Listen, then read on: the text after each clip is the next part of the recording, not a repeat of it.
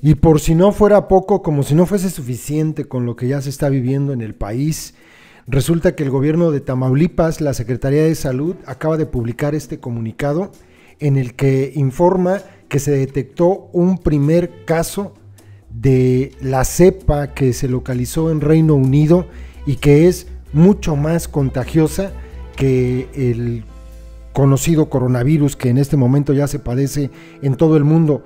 Eh, a ver, Mañana voy a compartir información un poco más específica sobre esto, de lo que sé, porque acá ya hay casos de esto, entonces ha salido más información. No es que sea más peligrosa, de hecho hay una cosa que es interesante en esto. La vacuna, las vacunas que se están en este momento ya aplicando, por ejemplo en nuestro país, sí son efectivas contra esta cepa del coronavirus. O sea, ahí no hay problema. ¿Qué es lo que hace delicado el asunto?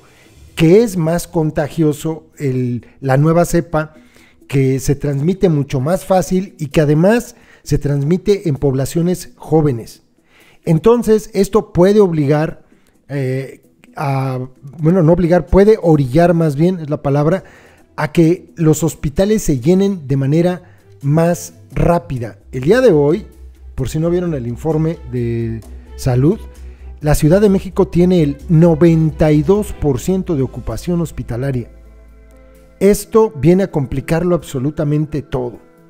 Reafirma Tamaulipas liderazgo en vigilancia sanitaria, COVID-19 nombre, gracias. Confirma nueva cepa de coronavirus en viajero internacional, 10 de enero 2021.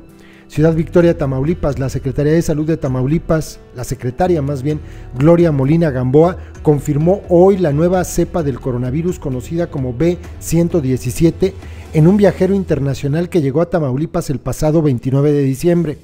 Como parte del protocolo de seguridad sanitaria en el que Tamaulipas es pionero en el país, se identificó a un hombre de 56 años de edad que arribó a Matamoros procedente de la Ciudad de México, siendo confirmado a COVID-19 y de acuerdo a la normatividad fue solicitada a la Federación el procesamiento de la muestra a fin de descartar la portación de cepas no conocidas en el país.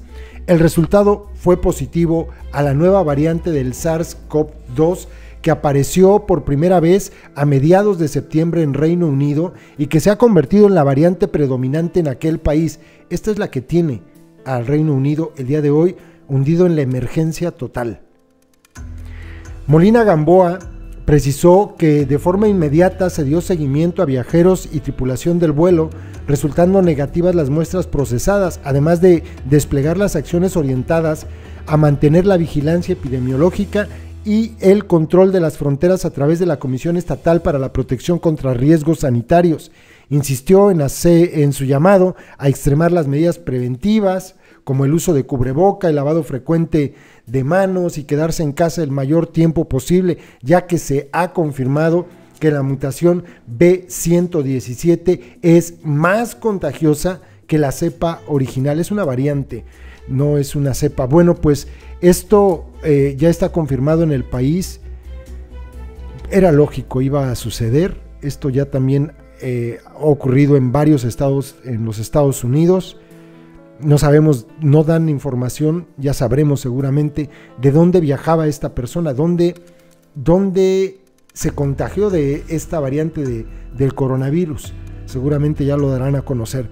Por lo pronto, pues esto viene a poner la cosa más preocupante. Si antes tenían que cuidarse, ahora tienen que cuidarse mucho más.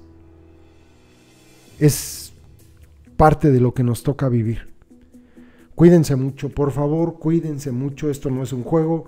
Vean los casos. Hoy superamos los 133 mil fallecimientos. Es una barbaridad y esto viene a empeorarlo todo.